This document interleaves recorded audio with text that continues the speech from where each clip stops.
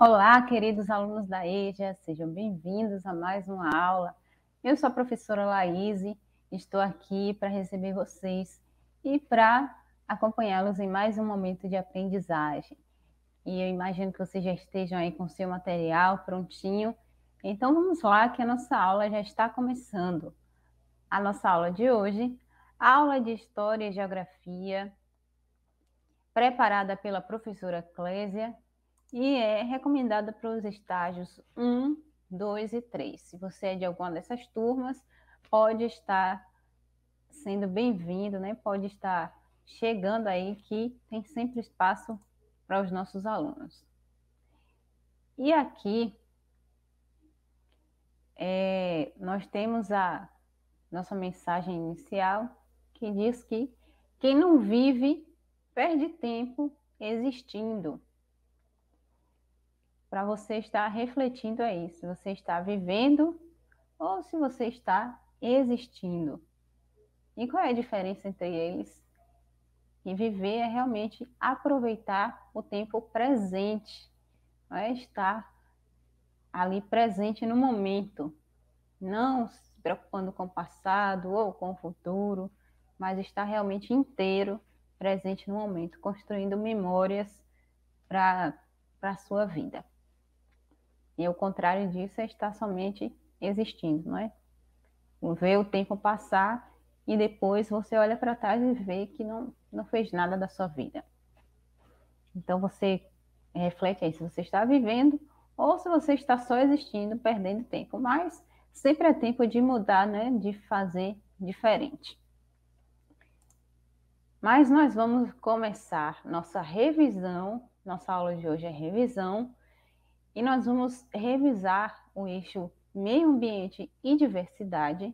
E nós é, nós relacionamos, nós direcionamos mais esse esse tema gerador para o tema diversidade, onde nós falamos sobre o povo brasileiro, sobre a diversidade que existe no nosso povo, tanto étnica como cultural, e nós vamos revisar na aula de hoje a origem do povo brasileiro, né? a formação do nosso povo.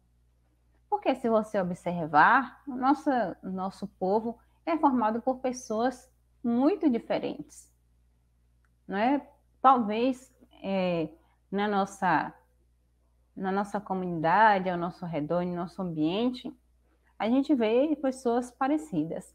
Mas se a gente observar em outros estados, do nosso país, nós podemos ver pessoas totalmente diferentes, não é?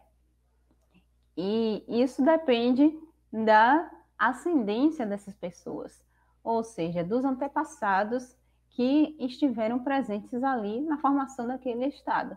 Isso quer dizer que o nosso povo foi formado por outros povos, teve uma formação única, diferente de outros países que tiveram uma formação que foi formada por um povo só.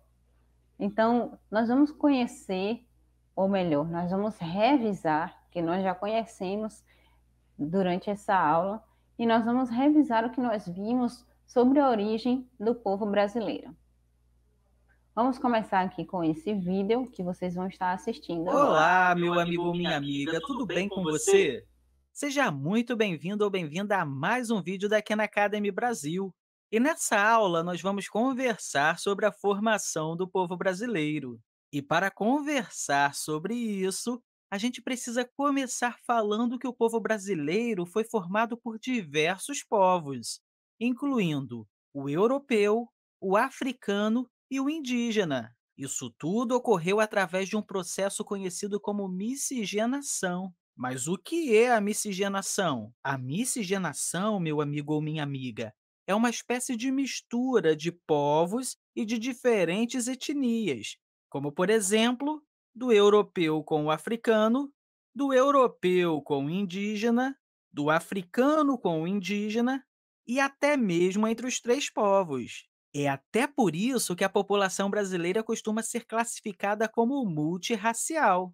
Atualmente, o povo brasileiro é formado por diversas outras etnias, mas inicialmente Logo após a chegada dos portugueses ao território que mais tarde seria chamado de Brasil, o povo brasileiro foi se formando através da miscigenação entre três povos: o português, o africano e o indígena, que já estava aqui nas terras brasileiras. Por isso, é legal a gente conversar um pouquinho aqui sobre a chegada de cada um desses povos. Os povos indígenas são os habitantes originários do Brasil, quando o território ainda não tinha nem esse nome.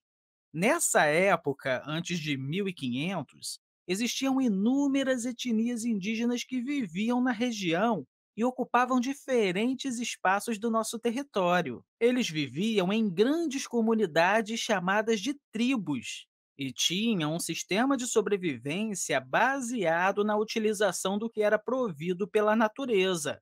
Afinal, eles praticavam a caça, a pesca e a colheita de alimentos. Com a chegada dos portugueses em 1500, a vida dos indígenas foi duramente alterada. Além disso, ao longo dos anos seguintes, o número total deles foi drasticamente reduzido também, o que é uma pena. Porém, foi com a chegada dos colonizadores portugueses que tivemos o primeiro marco na formação do povo brasileiro atual, pois com esse evento começou a ocorrer uma miscigenação entre os portugueses e os indígenas. O que é ruim nisso tudo é que a chegada dos portugueses não foi um processo pacífico para a região e nem para os habitantes que já viviam no território. Como eu falei, com o passar dos anos, a população dos indígenas acabou reduzindo drasticamente. Com o passar dos anos, o povo que vivia no continente africano também começou a chegar aqui no Brasil, só que através de um processo de escravidão. O que isso significa, meu amigo ou minha amiga? Isso significa que eles foram retirados de seus países escravizados e trazidos ao território brasileiro pelos europeus para trabalhar em campos de plantações de café e de cana-de-açúcar. Apesar da escravidão só ter sido abolida em 1888, os africanos contribuíram para a formação do povo brasileiro, não apenas através da miscigenação, mas também com muitos costumes e hábitos, que inclusive fazem parte da vida de muitas pessoas até hoje. Um detalhe interessante, meu amigo ou minha amiga, é que apesar desses três povos terem sido importantes e de terem formado inicialmente o povo brasileiro, atualmente somos o resultado de outras migrações também, como, por exemplo, dos orientais, tais como os japoneses e chineses, também de outros países europeus, como Espanha e Itália, além, é claro, de norte-americanos. É por isso que nós brasileiros somos tão plurais. Olha quantos tipos de brasileiros existem atualmente. Existem tantos e tantos que eu nem consigo colocar aqui a quantidade certa de fotos para representar todos eles. Mas uma coisa você não pode esquecer: é pensando nessa diversidade tão grande que forma o nosso povo que devemos sempre respeitar o outro, por mais diferente que ele possa ser de nós, seja uma diferença física ou até mesmo uma diferença entre costumes e crenças, a gente sempre precisa respeitá-lo. Não se esqueça que todos nós temos sentimentos e devemos ser tratados com respeito para não ficarmos tristes ou magoados. O respeito tem que ser a base de todas as relações. Além disso, independente das diferenças, todos somos seres humanos então, não importa a cor de nossa pele, a textura e a cor de nossos cabelos, a nossa estatura, ou até mesmo se somos gordos ou magros, ou qualquer outra diferença que a gente tenha. Todos nós merecemos ser respeitados pelo que somos. Então é isso aí, meu amigo ou minha amiga. Aproveitando esse momento aqui, eu quero deixar aqui para você um grande abraço e até a próxima. Então, esse aí foi um resumão da formação do nosso povo e nós vamos continuar relembrando os conceitos que nós vimos aí. Então, você já viu através desse resumo que a formação originária principal, né, primária do nosso povo foi através dos indígenas, portugueses e africanos. E depois houve a imigração, né? Houve a migração de outros povos para nossa para o nosso território e que também é, trouxeram trouxeram seus costumes e os seus genes para a nossa para a nossa população. Olá. Vamos revisar o conteúdo sobre a formação do povo brasileiro? Quais são os povos que deram origem ao povo brasileiro? Isso aí nós vimos nesse resumo e eu tenho certeza que você já sabe, não é? O que é miscigenação? E quais reflexões, a partir da, de uma letra de música, por exemplo, que você vê, podem ser levantadas sobre a formação do povo brasileiro? É, a população brasileira é bastante miscigenada. Você já pode ter ouvido essa palavra. E isso ocorreu em razão da mistura de diversos grupos humanos que aconteceu no país. São inúmeras raças que favoreceram a formação do povo brasileiro. Os principais grupos foram os povos indígenas, africanos, imigrantes europeus e asiáticos. Então, esses foram os povos, os grupos principais. Os povos indígenas Vamos ver um pouco mais sobre eles. Antes do descobrimento do Brasil, o território já era habitado por povos nativos. Nesse caso, os índios existem desde, desde antes de chegarem outros povos aqui. Existem diversos grupos indígenas no país. Entre os principais estão Carajá, Mororo, Caigangue e Anomami. No passado, a população desses índios era quase 2 milhões de pessoas. Só desses, somente dessas tribos aí, né, dessas quatro tribos, desses quatro povos indígenas, eram de 2 milhões de pessoas. Fora as outras tribos, outros grupos indígenas, e que já estavam aqui.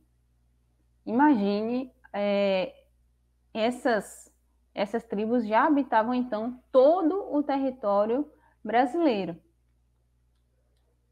Então não era um, um, uma quantidade pequena de, de, pessoas que habitavam aqui. Era, era uma grande quantidade, imagine aí, 2 milhões somente desses quatro povos. Já os povos africanos foi o grupo humano que so, sofreu uma migração involuntária. O que significa involuntária? É que não depende da vontade da pessoa.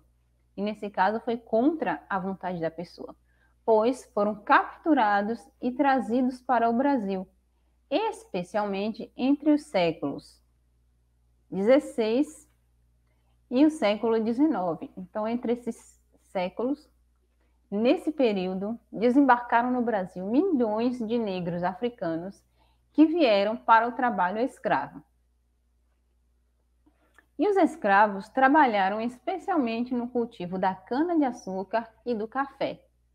Então, já tinha milhões de indígenas, não é? Milhões de indígenas aqui. Foram trazidos milhões de africanos então aí já se soma, já vão se somando milhões com milhões. E se tornando assim a maioria da população. Porém, não a sua cultura não, não se não se não se firmou como a cultura principal, nem a dos indígenas, que já eram nativos e eram a maioria, nem a dos africanos, que também chegaram em grande número, porque eles eram grupos desfavorecidos, não era um grupo dominante, que detinha o poder.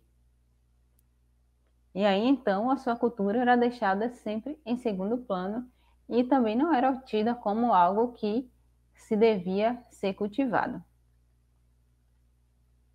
E os imigrantes europeus e asiáticos né, foram os primeiros a chegarem no Brasil foram os portugueses, que foram os colonizadores que, que vieram com aquela história né, de descobrirem o Brasil, mas chegaram aqui para colonizarem, ou seja, para explorarem as riquezas que existiam na nossa terra. Então, tudo que existia aqui de riqueza, que eles consideravam riqueza, né, o pau-brasil, o ouro, a terra, né, o território que servia para plantar, tudo isso servia para exploração. O Brasil era uma colônia de exploração. E aí, é, esse, esses é, imigrantes europeus chegaram aqui e foram se estabelecendo como um, uma cultura dominante. Eles sim detinham o poder, tanto o poder financeiro, como o poder bélico não é, do, dos armamentos, tinham os exércitos, tinham o poder do governo. E aí a sua cultura foi estabelecida aqui como cultura dominante. Tanto que hoje, qual é a língua que nós falamos? A língua portuguesa. É, e porque eles chegaram justamente com essa intenção de dominar a terra que, que eles estavam ali colonizando. Mais tarde, por volta do século XIX, o governo brasileiro, né, que aí já não era mais uma colônia de Portugal, já era o Brasil, promoveu a entrada de um grande número de imigrantes europeus e também asiáticos. Então já havia essa percepção de que, de que o número de indígenas e, e africanos era um número grande e que precisava de mais pessoas para povoarem a, a terra. Né? Tanto que, que houve esse essa propaganda na Europa de que o Brasil era a terra, a terra o paraíso, né, uma terra boa, e houve é, a facilitação dessa entrada de um número de, grande de imigrantes europeus e também de asiáticos. Então aí essa, essa chegada trouxe mais imigrantes europeus de outros países para o nosso para o nosso Brasil. A primeira metade do século XX, pelo menos 4 milhões de imigrantes desembarcaram entre os principais grupos humanos europeus, destacam-se portugueses, espanhóis, italianos e alemães. E em relação aos povos asiáticos, podemos destacar sírios, libaneses e japoneses. Então, aí também veio mais uma leva de milhões de pessoas né, para equilibrar aí essa, essa conta. Então, essa influência quantitativa de pessoas, né, tanto negros, indígenas e europeus, estava aí mais equilibrada. E aí no Brasil também nós temos uma grande diversidade cultural, porque a, a diversidade não é somente étnica das diferenças físicas, mas também das diversidades culturais. Porque cada um desses povos tem uma maneira de viver, de ver o mundo, tem as suas crenças, tem a sua forma, por exemplo, de lidar com a natureza, de, de lidar com as outras pessoas, de lidar uns com os outros, e tudo isso faz parte da diversidade cultural. Mas o que é diversidade cultural no Brasil? A diversidade cultural no Brasil é representada pelas inúmeras tradições, manifestações religiosas, artísticas, culinárias, crenças e costumes dos diferentes grupos de indivíduos nas diferentes regiões brasileiras. Então, todo esse conjunto né, de arte, culinária, crenças, costumes, faz parte da diversidade cultural. É importante a gente compreender que nós somos um povo que surgiu de um grande agrupamento de povos de várias regiões do mundo. E aí, como foi dito no final daquele vídeo, nós justamente por sermos esse grande grupo, né, um grupo de, de vários povos, precisamos ter esse respeito pelo outro, né, um respeito pela pessoa que é diferente, que tem uma crença diferente, um modo de ver o mundo diferente.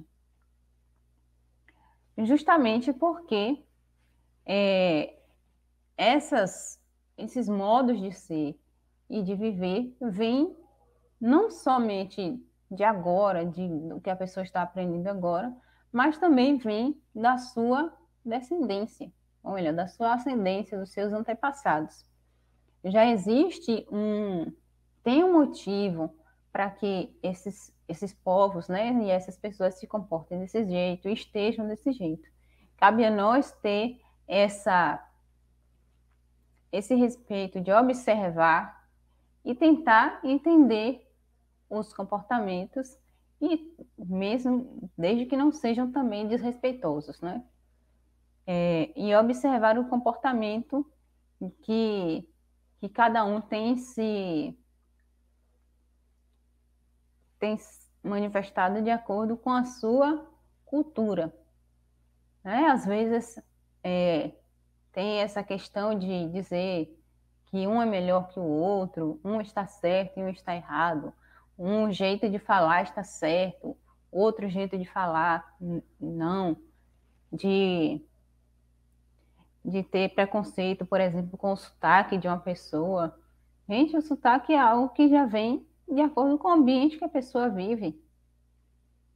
Né? Que a pessoa vai aprendendo por osmose, não não precisa de um curso para a pessoa aprender o sotaque da sua região, o costume da sua região.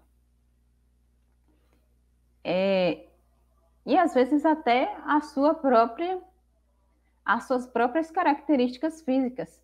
Essa diversidade que existe no Brasil deve, devia ser um devia ser um motivo para que a gente aprendesse a respeitar uns aos outros e não é, e não ser preconceituoso, discriminar ou fazer bullying com as outras pessoas. Agora, observe seus amigos, né? Observe entre você e os seus amigos. O que é que vocês têm de semelhanças e diferenças que demonstram essa diversidade de etnias que existe no nosso país? Será que você consegue observar algum traço que, que demonstra que a pessoa tem uma ascendência mais voltada para o europeu, ou para o indígena, ou para o africano, ou até para algum outro povo, né? O sírio, o libanês, o espanhol, o japonês, que foi a, habitando e foi migrando aqui para a nossa região quem sabe algum desses traços que existem nesses povos, né, foi sendo passado de geração em geração e chegou a ser manifestado, né, ser demonstrado né, nas características físicas de um de seus amigos. E aí, essas características físicas e até culturais mesmos é, estão aí presentes e você nunca tinha observado. Não é?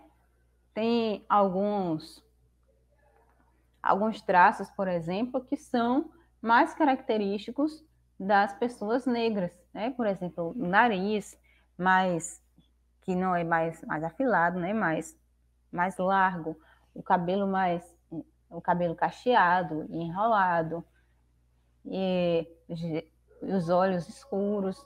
Já dos brancos, a gente, dos, dos europeus, né? Tem os olhos claros, os cabelos lisos, aquele cabelo bem liso, e muitas vezes mais, mais clareado, e o nariz muito fino. Também é uma característica dos, dos europeus. E dos indígenas, nós também temos os cabelos né, mais, mais lisos, mais pretos. E normalmente os indígenas não têm pelos pelo corpo. É, e todas essas características nós vamos observando na, nas nossas, é, nos traços das pessoas que têm ao nosso redor. E às vezes, em, até mesmo em uma só família, nós podemos perceber essas diferenças. Porque, como foi falado, né, existe essa miscigenação, ou seja, essa mistura entre etnias que foi acontecendo ao longo da história do nosso país. Então, se você pode, consegue aí observar essas semelhanças e essas diferenças esses, nos traços, não quer dizer também que não existam outras etnias que fazem parte do DNA. Só que esses traços foram manifestados, né, os traços dessa etnia foram manifestados fisicamente.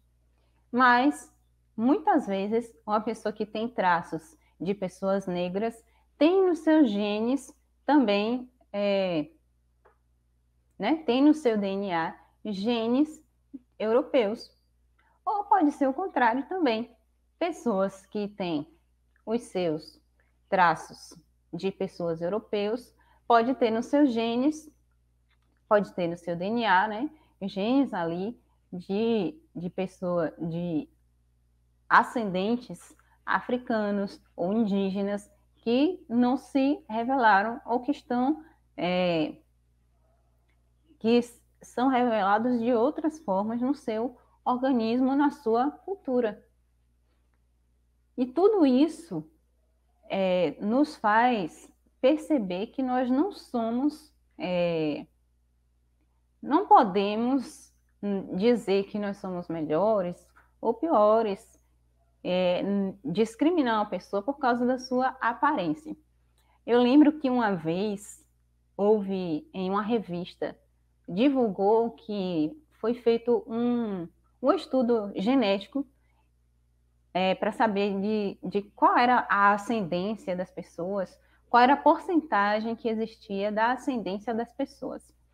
E eu lembro que um, um cantor, um artista famoso, Neguinho da Beija-Flor, e que nos genes dele foi revelado que ele tinha 70% de ascendência europeia. Porém, o nome dele já diz, né? Neguinho da Beija-Flor. As características físicas dele não diziam isso.